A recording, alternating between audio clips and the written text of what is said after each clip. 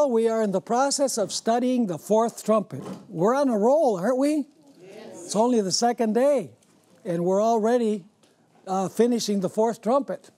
Uh, but don't be too confident because uh, number five and six are going to take us a long period of time, and uh, then we have several other things that we're going to be dealing with as well. So we are on page 107. Uh, we read those quotations on page 107.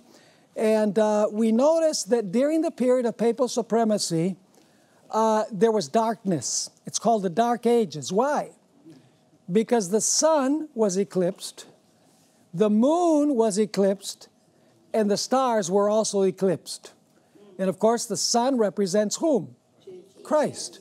The moon represents the scriptures, and the stars represent God's people. And, uh, you know, we were reading statements from the chapter in Great Controversy, An Era of Spiritual Darkness. That, that title itself of the chapter about papal supremacy says a lot. Now, I'm not going to read all the statements under this section because we have a lot of material to cover, but I want to highlight certain words beginning on page 107, the words that I have um, underlined and in bold. Do you notice the number of times that you have dark? Dark ages, darkness deeper, deepened, then a little bit farther down, the prince of darkness, and then the suppression of the scriptures. So the darkness comes because uh, the scriptures are proscribed or suppressed. Then at the bottom of the page, as time goes by, darkness seemed to what? To what? To grow more dense. On the next page, the advancing centuries witnessed a constant increase of what? Of error. In the next statement, which is describing the 13th century, uh, it uses the expression the prince of darkness. And uh, uh, let's read the one from Great Controversy, page 60. But the noon of the papacy was what? The midnight of the world, is the description of the period of papal supremacy. Why was it the midnight of the world? Ellen White states the Holy Scriptures were almost what? Unknown not only to the people, but to the priests. Like the Pharisees of old, the papal leaders hated the light which would reveal their sins. And then the next statement, at the, at the very bottom of the statement, you have the banishing of the Word of God. Uh, Great Controversy, page 586 the iniquity and spiritual darkness that prevailed under the supremacy of Rome were the inevitable result of her suppression of what? Of the Scriptures. And, um, you know, you can notice uh, at the top of the next page, uh, you have a mention of the Holy Scriptures, ignorance of the Holy Scriptures. The Bible will exalt God and place finite men in their true uh, position. Uh, the Bible was concealed and suppressed. The circulation of the Bible was prohibited. So, in other words, the, during this period, people did not catch a glimpse of Jesus because the lesser light was hidden and was suppressed. Uh, the next statement speaks about um, William Miller uh, studying the scriptures. He sa- it says the scriptures were carefully searched, and what happened as a result? Light poured in upon the darkness. And then uh, the last statement that we have on this page uh, has to do with the end times. Let's read that. Dear brethren and sisters, as error is fast progressing, we should seek to be awake in the cause of God and realize the time in which we live. Darkness is to cover the earth, and gross darkness the people. Nearly all around us are being enveloped in thick darkness. What is the thick darkness? Error and what? Delusion. Is that the case during the, during the period of papal supremacy? Yes. It becomes us to shake off stupidity and live near to God, where we can draw divine what? Rays of light and glory from the countenance of Jesus. As darkness thickens and error increases, so notice darkness is related to uh, error, we should obtain a more thorough knowledge of the truth and be prepared to maintain our position from where? From the scriptures. And then at the top of page 110, Ellen White quotes Isaiah 8, verse 20 to the law and to the testimony, if they speak not according to this word, it is because there is no light in them. In other words, they are in what? They're in darkness. uh, the people of God are directed where? To the scriptures as their safeguard against the influence of false teachers and the, the delusive power of spirits of darkness. So, how is the darkness dispelled? The darkness is dispelled by the scriptures, by the lesser light that leads to whom? That leads to Jesus, the greater light. Now, let's talk about how the papacy darkened the sun and moon. We know that that was by the suppression of the scriptures, but let's be a little bit more specific. In order to understand the darkening of the sun and the moon during the fourth trumpet, we need to study the daily that the little horn took away from the prince of the host. And that should be fresh in your minds because two Sabbaths ago we were studying Daniel 8 in our Sabbath school lessons. Remember that the little horn attacked the prince of the host, and he attacked the host, and he took away the daily. Now let's pursue this. It is difficult to interpret the word daily unless we go to other places in the Bible to explain what this word means. The word is an adjective, and in Daniel 8, it has no noun to qualify. So the question is the little horn took away the daily what? You know, the word sacrifice isn't there. The meaning of the word tamid in Hebrew is simply something which goes on continuously without interruption. That's what the word tamid means. However, what is it in Daniel 8 that goes on continuously without interruption? Uh, now, you remember that the little horn of Daniel 8 represents what power? The papacy. The same power that's being described in the fourth trumpet, right? Now, it is important to keep in mind that the word tamid, daily, has the definite article. It is not simply daily, it is the daily. It is a specific daily that is taken away by the little horn. Uh, as I mentioned before, the King James Version translators uh, added the word sacrifice.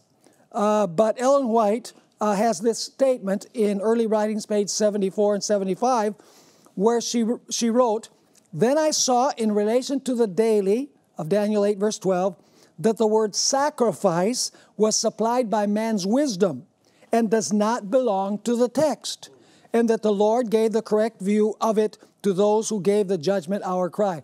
Now, Heidi Heiks, uh, whom I mentioned before, wrote an entire book on this issue of the daily. There are two views. One is that the daily is paganism that was taken away. The other view is the view that I'm going to share, which I believe that fits better with the context of what we're studying here. So at the bottom of page 110, what then does this word mean? What does the word daily mean? We must allow other Old Testament texts to explain what the word means. The Old Testament, when we examine other verses, clearly indicates that this word refers to the daily ministration of the priest in the court of the sanctuary and in the holy place of the sanctuary. And by the way, you know, because it's dealing with the sanctuary, you have to interpret the word daily in the context of the sanctuary, right? So, this means that the little horn was going to attempt to take away from the prince, that is from Jesus, the prince of the host, his ministration where? In the court and in the holy place of the sanctuary. Now, in order to comprehend how the little horn did this, we need to answer two fundamental questions. The first question is In which sanctuary did the prince minister at this point in the vision of Daniel 8 and also during the period of the fourth trumpet? In which sanctuary was the prince, who is Jesus, ministering? Some earthly sanctuary? No, there was no earthly sanctuary. The second uh, question that we must answer is what does each piece of furniture in the court and in the holy place represent?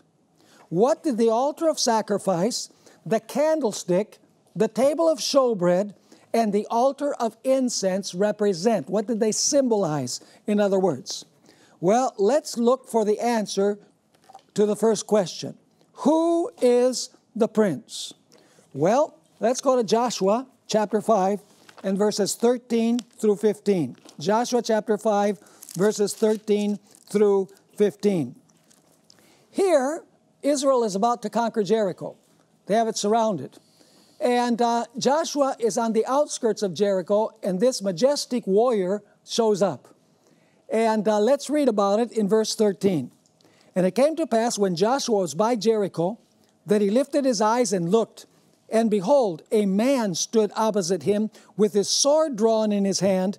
And Joshua went to him and said to him, Are you for us or for our adversaries?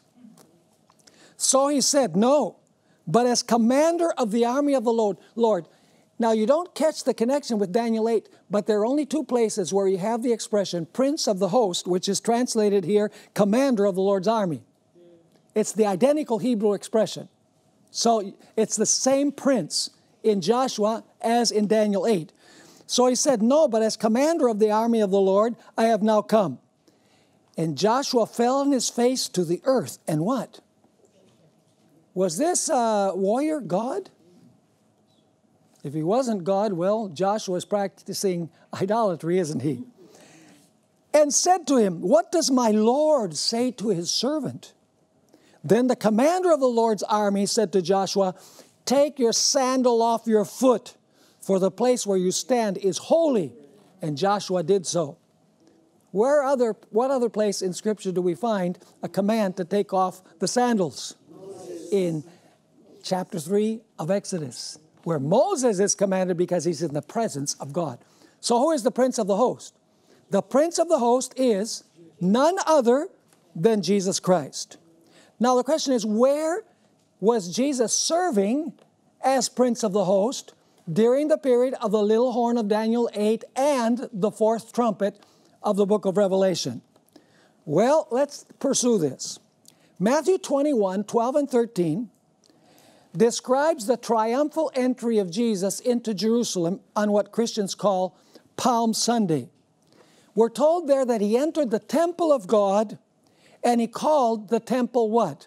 My Father's house. So when he enters, it's called the temple of God, and he says that it is my Father's house.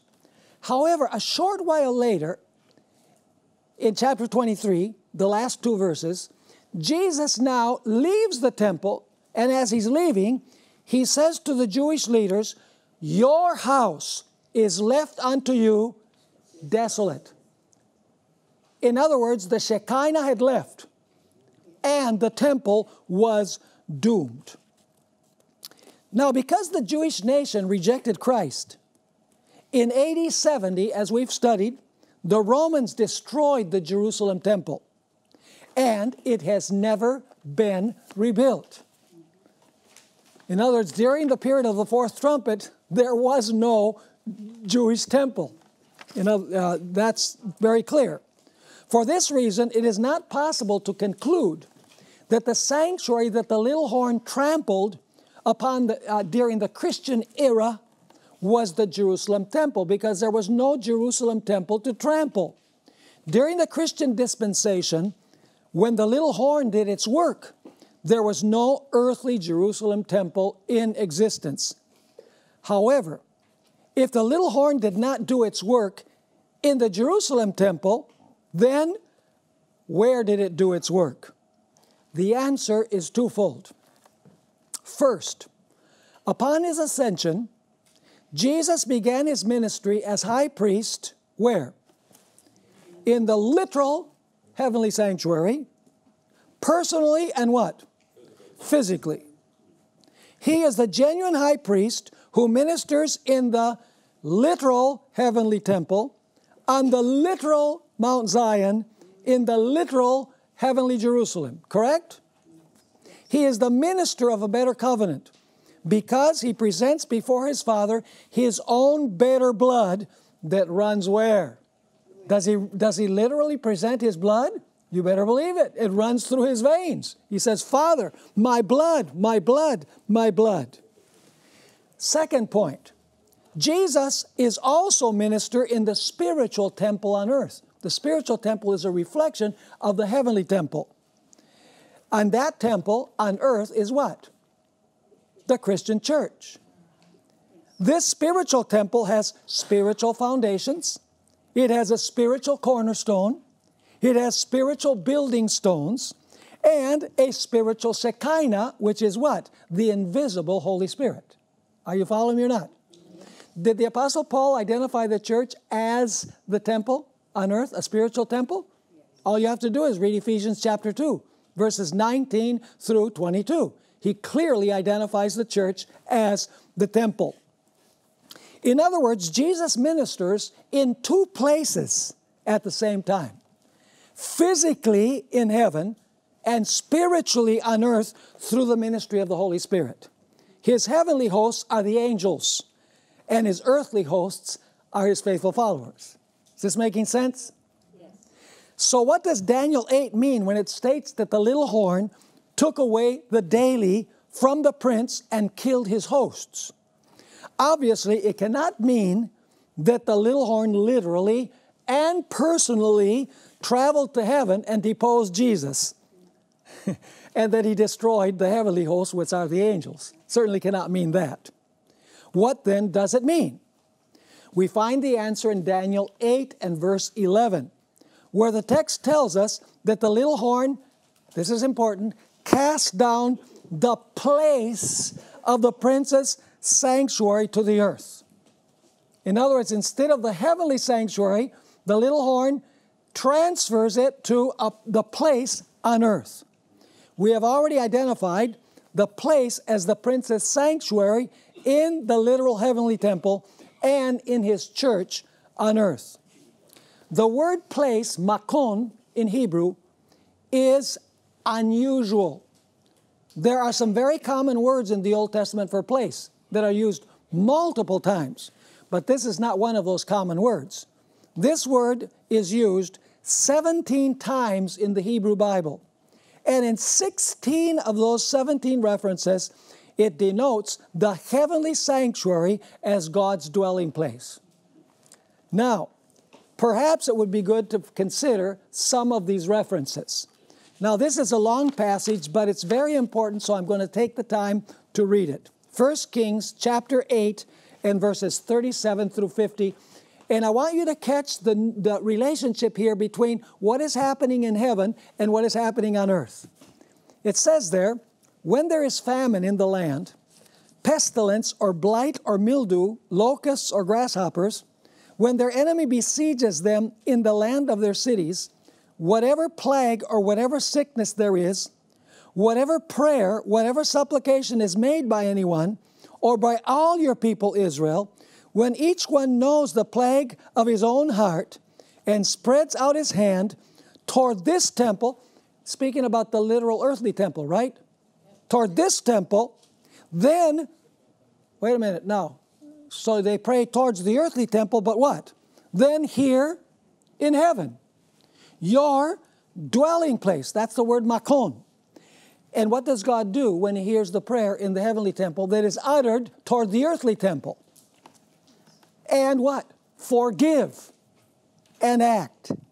And give to everyone according to all his ways, whose heart you know, for you alone know the hearts of all the sons of men, that they may fear you all the days that they live in the land which you gave to our fathers.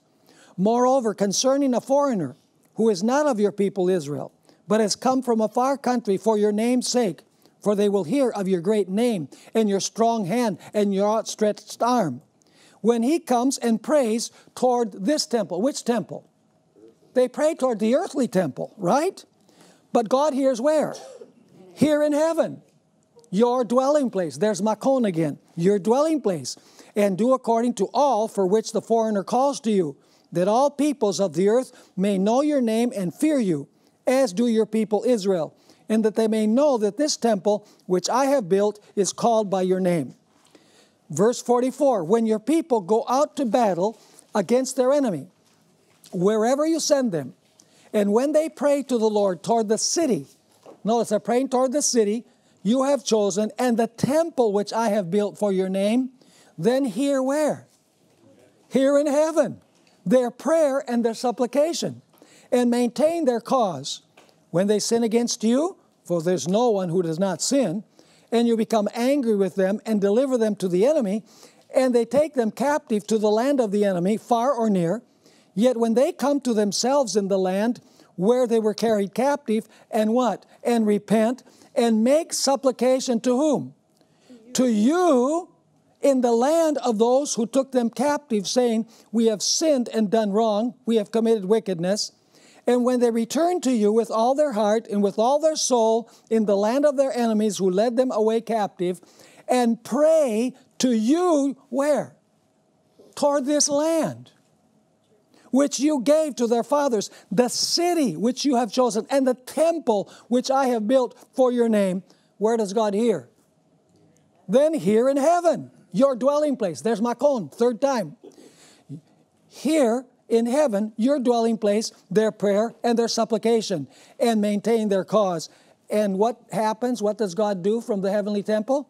And forgive your people who have sinned against you, and all their transgressions which they have, which they have transgressed against you, and grant them what? What comes from the heavenly temple?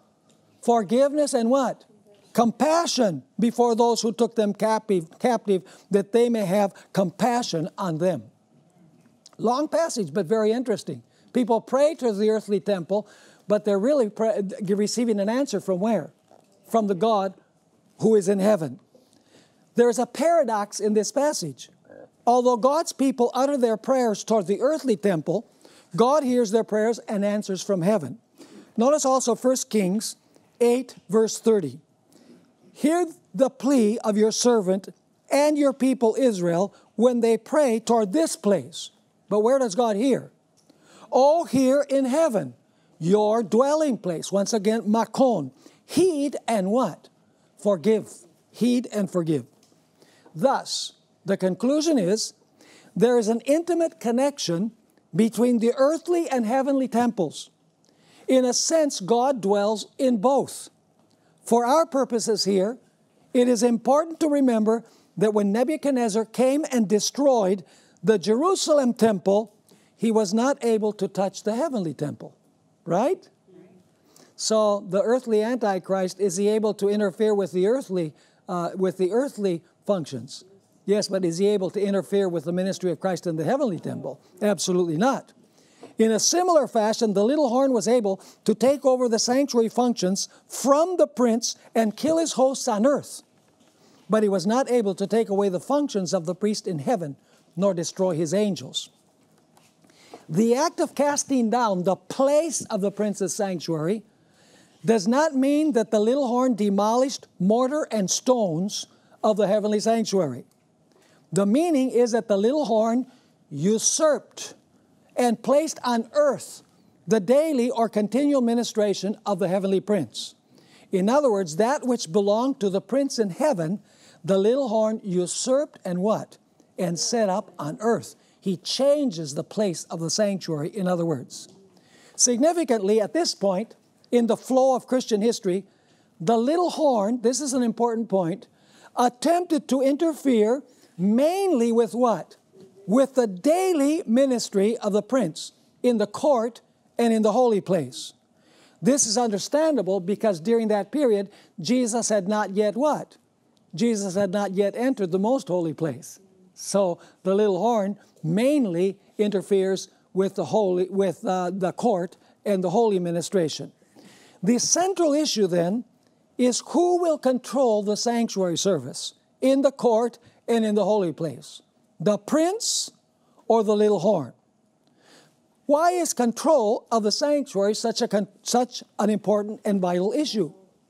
We find the answers to these questions by considering the meaning of the altar of sacrifice in the court, and the candlestick, the table of showbread, and the altar of incense in the holy place. So now we're going to take a look at the furniture that was in the sanctuary to understand in what sense the, the place of the sanctuary is cast down and the earthly uh, little horn takes over the functions of the heavenly prince. Morning and evening, let's talk about the altar of sacrifice. Morning and evening, the priest offered a lamb upon the altar of sacrifice in the court for the sins of Israel. As long as the Hebrew sanctuary stood, There was never a time when the fire of the sacrifice was not burning. It burnt continually. This was the daily burnt offering. Notice as an example Exodus 29 and verse 39. Now, this is what you shall offer on the altar two lambs of the first year, day by day, what? Same word as in Daniel 8, continually, tamid, continually. One lamb you shall offer in the morning, and the other lamb, lamb you shall offer at twilight. The sacrifice of the lamb, of course, represented what? The sacrifice of Jesus on the cross of Calvary.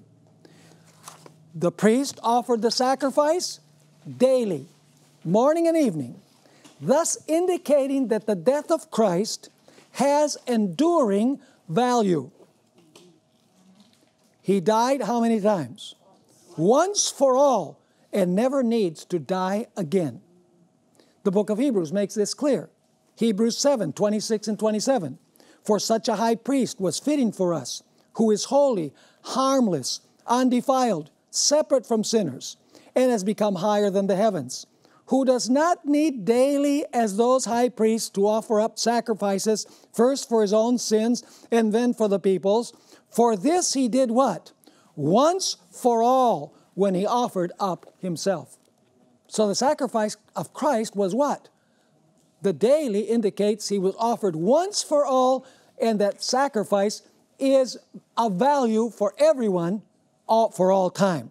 Notice Hebrews 9 25 and 26 from the King James Version. Not yet that he should offer himself often, as the high priest entereth into the holy place every year with the blood of others. For then he must uh, for then must he often have suffered since the foundation of the world. But now how many times? Once. In the end of the world hath he appeared to put away sin by the sacrifice of himself. And as it is appointed unto men once to die but after this the judgment so christ was what? Once offered to bear the sins of many and unto them that look for him shall he appear the second time without sin unto salvation so, how many times was Jesus going to die? He was only going to die once for all. Now, how did the little horn hide this fact that Jesus had died once for all? Well, in the middle of the page, we have the answer.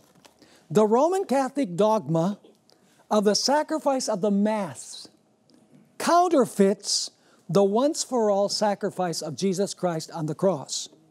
According to Roman Catholic theology, according to the dogma, the priest sacrifices Jesus repeatedly in every Mass. Instead of looking to the Lamb of God who takes away the sin of the world and presents his own blood before the Father, the Roman Catholic Church teaches believers to look at the wafer host. And supposedly, the real body of Jesus is found there it's called the ubiquity of the, of the presence of Christ.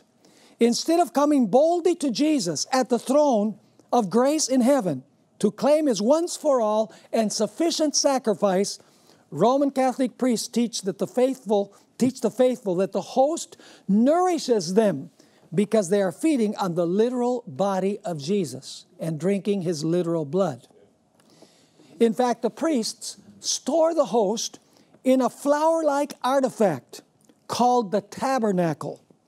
At the center of the artifact is the circular wafer host, and coming forth from the edges of the host are the rays of the sun. When the priest brings the tabernacle before the congregation, this is important, which contains the host, he teaches the members to bow and worship the host. This is simply a deceitful form of sun worship. Furthermore, the Roman Catholic, Roman Catholic theology teaches that the priest on earth takes over the power and prerogatives of Jesus Christ. When the priest pronounces the words of consecration, hoc est corpus meum, this is my body, the wafer, according to Catholic theology, is no longer a wafer, but it is rather the real physical body of Jesus. Roman Catholic theology teaches that when these words are pronounced, the earthly priest has the power to transubstantiate the wafer into the real body of Jesus Christ. That is to say, the earthly priest supposedly has the power to create his creator. This is blasphemy to the fullest degree. St. Alphonsus Liguori, one of the 33 doctors of the Roman Catholic Church in the history of the church, wrote about the transubstantiating power that the Roman Catholic Church believes the priest has. This is in, in his book, The Dignity and Duties of the Priest or Selva, page 33 and 34. Thus, the priest may, in a certain manner, be called the creator of his creator, since by saying the words of consecration, he creates, as it were, Jesus in the sacrament, by giving him a sacramental existence and produces him as a victim to be offered to the eternal Father. As in created the wor- creating the world, it was sufficient for God to have said, Let it be made, and it was created. He spoke, and they were made. So it is sufficient for the, for the priest to say, Hoc est corpus meum, and behold, the bread is no longer bread, but the body of Jesus Christ. The power of the priest, says Saint Bernardine of Siena, is the power of the divine person. For the transubstantiation of the bread requires as much power as the creation of the world. Is that blasphemy? Yes. Does it hide the once for all sacrifice of Christ? Yes, because Jesus is presenting himself in heaven, his blood before the Father. And where are people looking? They're not looking to heaven, they're looking on earth. They're looking at, at, at a host. They think, they think they're being nourished by the physical body of Jesus. It totally hides the work of Jesus, the greater light in the heavenly sanctuary. Now, what about the table of showbread? Well, as you know, the table of showbread contained two stacks of bread, two stacks of six loaves on each, uh, on each side of the table. And uh, what did the 12 loaves represent? Well, it represented that there was sufficient bread to nourish all of Israel, which had 12 tribes. Now, this bread is called the Tamid bread, the continual bread. Numbers 4 and verse 7. I'm reading from the King James Version because it's translated continual. It's the word Tamid. Let's read there. And upon the table of showbread they shall spread a cloth of blue, and put thereon the dishes and the spoons and the bowls, and covers to cover withal, and what else? The continual bread shall be thereon. Now, what does the bread represent? The bread represents the Word of God, right? Yes. So let's notice some texts. Isaiah 55, verses 10 and 11. For as the rain comes down and the snow from heaven, and do not return there, but water the earth and make it bring forth and bud, that it may give seed to the sower and bread to the eater, so shall my word be that goes from my mouth. So, what does the bread of the eater represent? So shall my word be that goes forth from my mouth. So, what does the bread represent? The word that comes out of the mouth of God. Notice Matthew 4, verse 4. Man shall not live by bread alone, that is, by physical bread alone, but by every what? Word that proceeds out of the mouth of God. So, what did the bread on the table of the showbread represent? It represents the Word of God. The number 12 indicates that it's sufficient to feed all of God's people, indicated by the number 12. Now, after Jesus fed the 5,000 with only five loaves of bread and two fishes, he made a very controversial remark. In John 6, verse 53, Jesus said, Most assuredly I say to you, unless you eat the flesh of the Son of Man and drink his blood, you have no life in you. Roman Catholics use this text to show that in each Mass, people literally partake of the body and the priest, of course, of the blood of Jesus. Is this what Jesus really meant? that his literal body and blood nourish the members of the church? Absolutely not. In context, Jesus explained what he meant. In John 6, verse 63, it is the Spirit who gives life. The flesh profits nothing. That doesn't profit you at all to eat the flesh of Jesus. The words that I speak, they are spirit and they are what? Life. So partaking of Christ is not literally partaking of his body and his blood. It simply means that we partake of his what? Of his word. What did the papacy do with the word of God during the 1260 years? Eclipsed it, right? So we have to we have to relate Daniel 8 with the fourth trumpet because they cover the same period. That is to say, the words of Jesus have power to nourish our spiritual life. As literal bread sustains physical life, the Word of God sustains spiritual life. Spiritually speaking, when we study the Word, we assimilate whom? Jesus. And He becomes flesh of our flesh and bone of our bones, spiritually speaking. The ingested Word of God cleanses our life and gives us the victory over sin. David understood this when he wrote in verses that are very well known Psalm 119, verses 9 through 11. How can a young man cleanse his way? When the Bible uses the word way, symbolically it means conduct or behavior. So, how can a young man cleanse his behavior? How can he do it? By taking heed according to your word. With my whole heart I have sought you. Oh, let me not wander from your commandments. Your word I have hidden in my heart that I might not sin against you. See, in the Roman Catholic Church, they believe that just by partaking of the little host, you know, because that's the real literal body of Jesus, it nourishes you spiritually. Is that what, what is being taught by the showbread? No, absolutely not. What is it that nourishes us? It's the Word of God. Was the Word of God scarce during the period of papal dominion? Absolutely. Notice John 15, verse 3. It's the Word that cleanses. You, Jesus says to his disciples, you are already what? Clean. How were they made clean? You are already clean because of the Word which I have spoken to you. It's the Word that cleanses. The bread, the spiritual bread, the Word. Notice Ephesians chapter 5, 25 and 26. Husbands, love your wives, just as Christ also loved the church and gave himself for her. For what reason? That he might sanctify and cleanse her with what?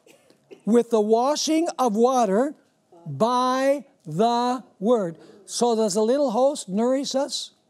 No, the little host doesn't nourish us. What nourishes us? It's the spiritual bread, the Word of God.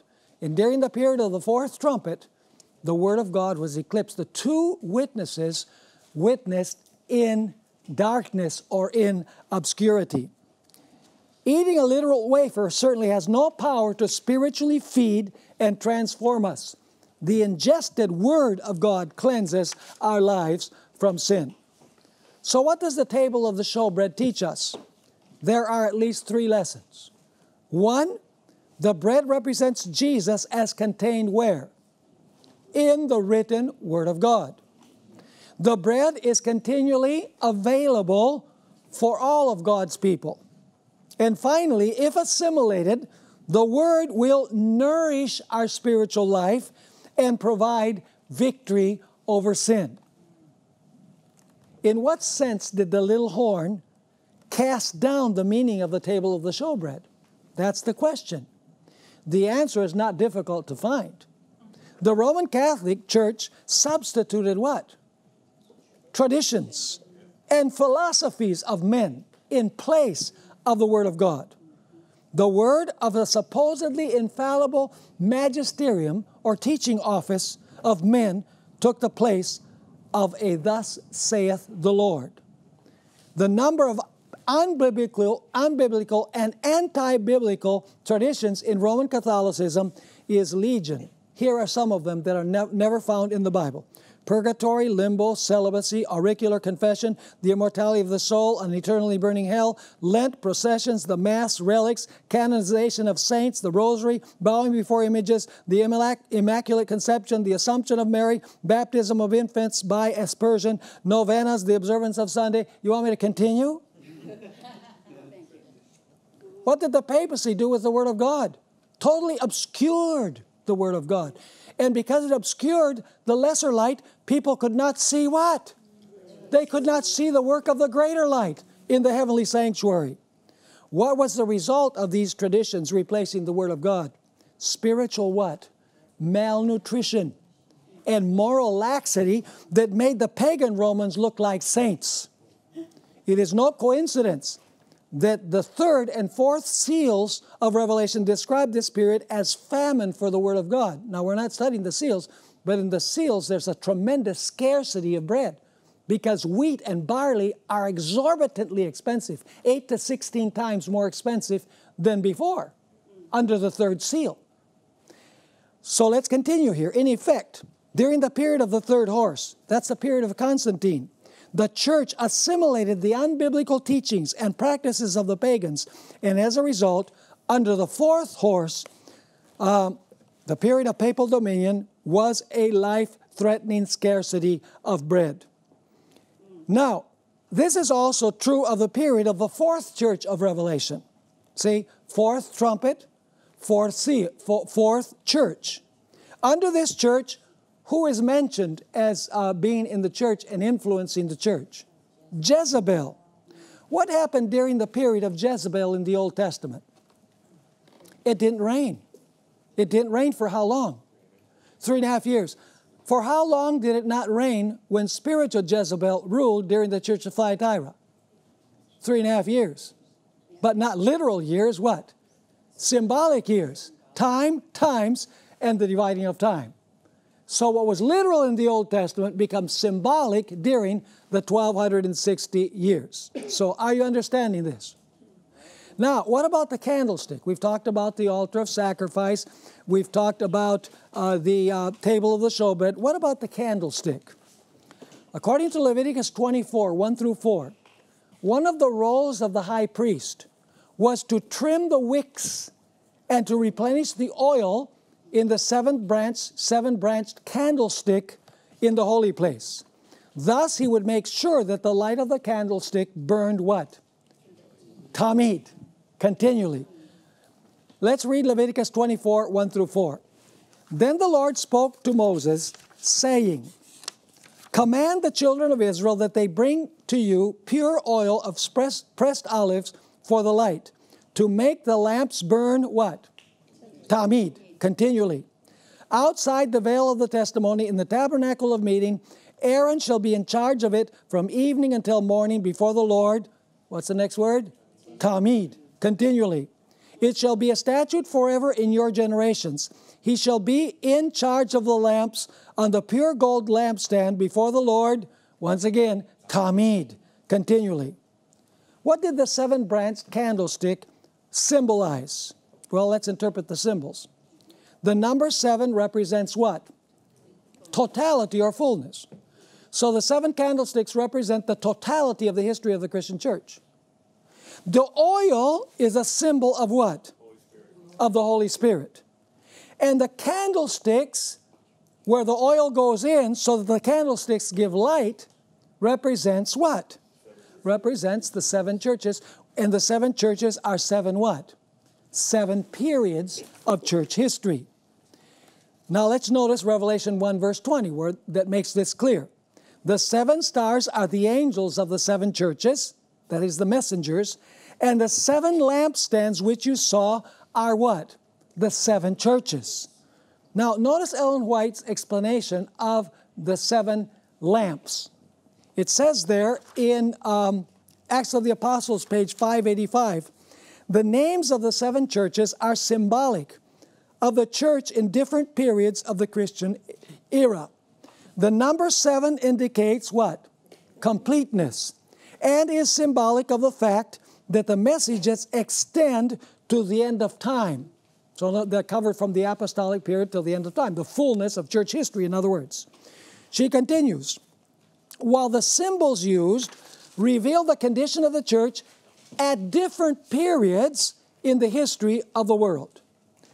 Thus, the candlestick represents the witness of the church to the world through the power of the Holy Spirit in different periods of Christian history.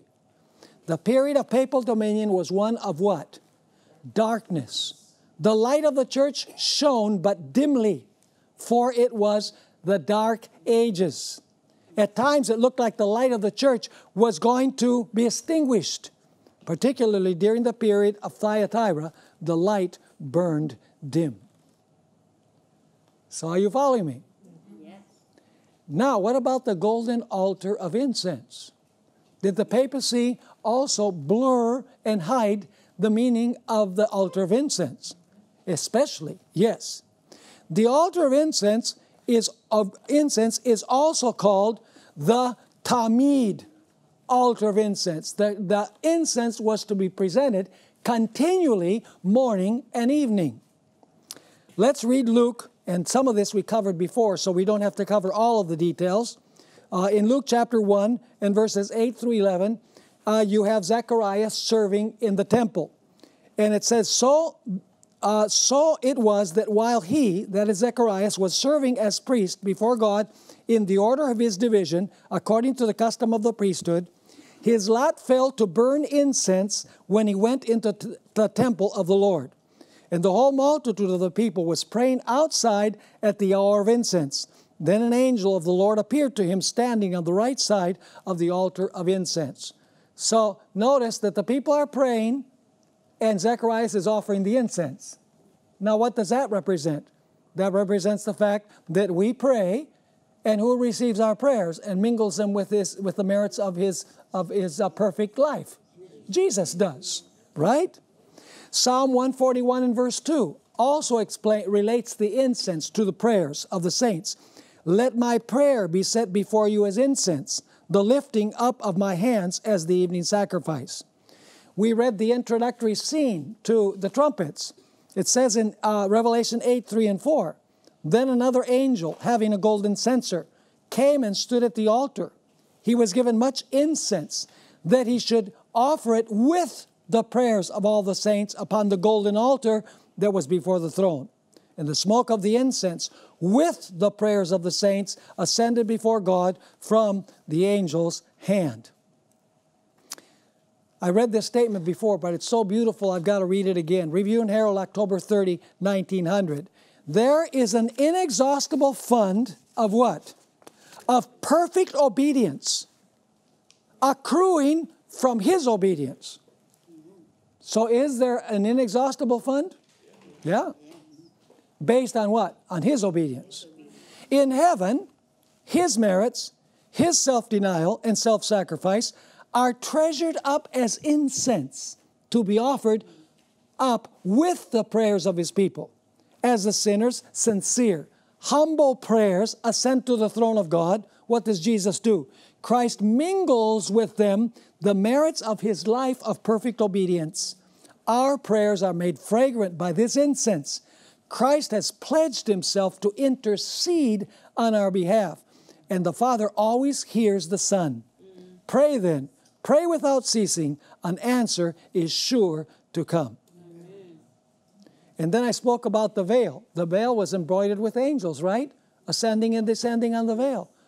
Represents the fact that our prayers go up to the presence of God and the answers come back. We talked about the ladder that, uh, that Jacob saw in his dream, not Jacob's ladder, but the one that he saw in his dream.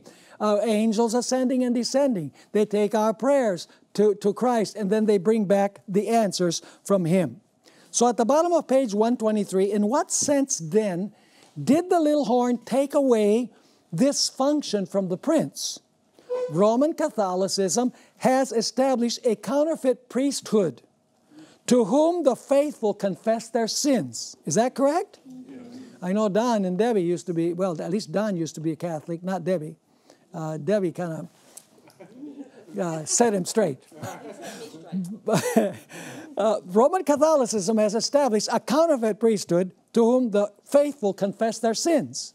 That is to say, instead of the faithful directing their prayers to Jesus in heaven for forgiveness, they utter them to a human priest on earth who cannot forgive. In this way, the little horn casts down the intercessory ministry of Jesus in heaven and places it where? On earth.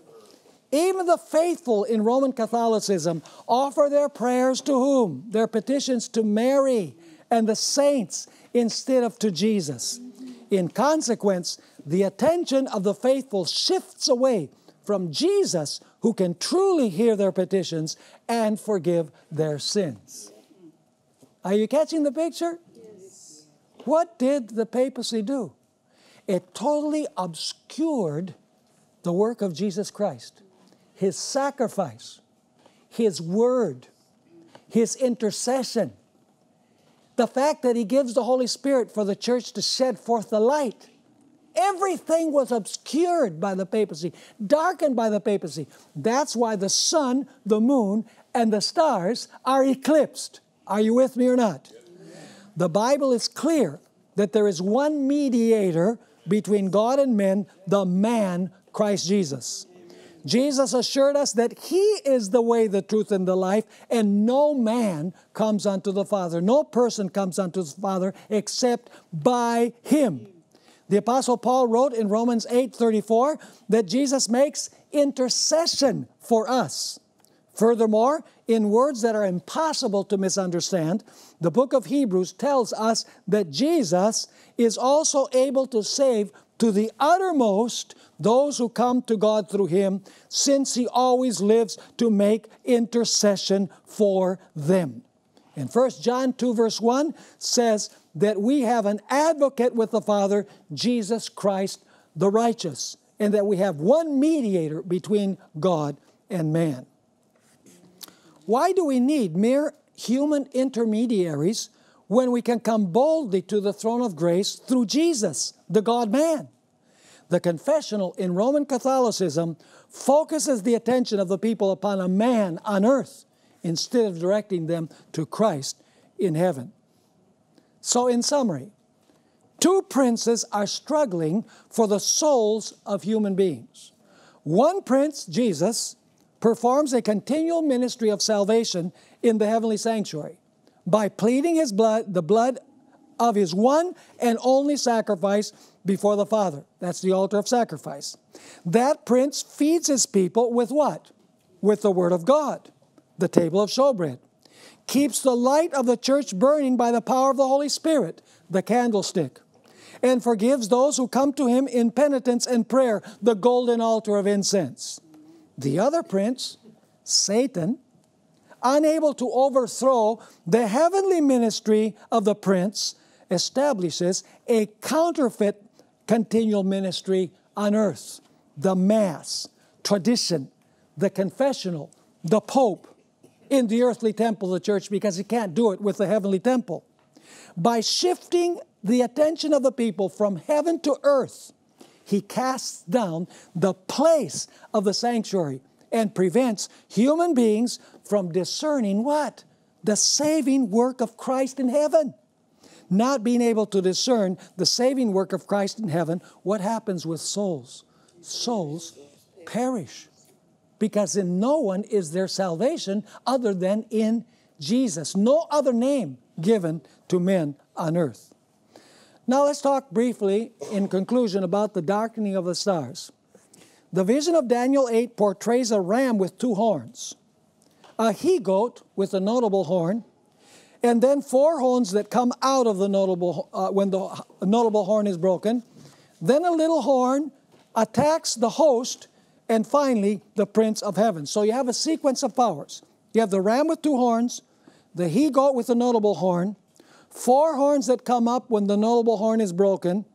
Then you have the little horn that extends, first of all, geographically, and then it extends to the host of heaven and it attacks the prince of the host in heaven. Now, who is the host that this, uh, that this little horn attacks? Well, the host that it attacks, it can't be the angels because these angels are in heaven. You see, in Daniel 8, you have an explanation of the vision. What I just described is in the first half of Daniel chapter 8. The second half of chapter 8 tells us what is represented by the host of heaven. It's not the angels, it's the host of Jesus living on earth, the saints. Notice the last paragraph, or the next to last paragraph. The angel interpreter at the end of the vision explained that the two horned ram represents what? The Medes and Persians. He then stated that the he goat represents Greece. And its notable horn is its first king. Who is that? Alexander the Great. Next, he informed us that four horns represent the divisions of Greece after the death of the first king. Those are the four generals of Alexander that fight for the territory that he left. And finally, the explanation portion of Daniel 8 tells us that a king will arise, which is parallel to what? The little horn, who will destroy the mighty and holy people. That's in the same position as casting down the stars in the vision portion. In the explanation portion, it says, destroy the mighty and holy people. So, what do the stars represent? The mighty and holy people. And then do you remember that also it said in the first, in the vision part, that he would attack the prince of the host? The explanation part says in verse 25, and he will stand up against whom? The prince of princes. So, what is represented by trampling upon the host? It, represent, it represents destroying God's people. And by the way, in the vision portion of the vision, it says that he takes the stars and he casts them to the ground. So the explanation part tells us that the stars that the little horn throws to the ground represents what? Represents, according to this, the mighty and holy people. Even a passing glance of Daniel 8 indicates that the host and the stars of heaven in the vision is found in the same identical place as the mighty and holy people in the explanation of the vision. Thus, the stars represent what? They represent God's people. Are you understanding this point? So now we've studied the first four trumpets. First trumpet is what? The destruction of Jerusalem. The second? The fall of the Roman Empire. The third? Ah, apostasy begins to enter the church in the periods of Constantine. The fourth trumpet? The period of papal dominion. And this is going to lead us to the fifth trumpet, which describes the French Revolution and the deadly wound that is given to the papacy in 1798. So, tomorrow, I'm hoping that in two sessions that we have in the morning, we will be able to cover the fifth trumpet, and then we'll get into the most exciting part, which is the sixth trumpet of the book of Revelation.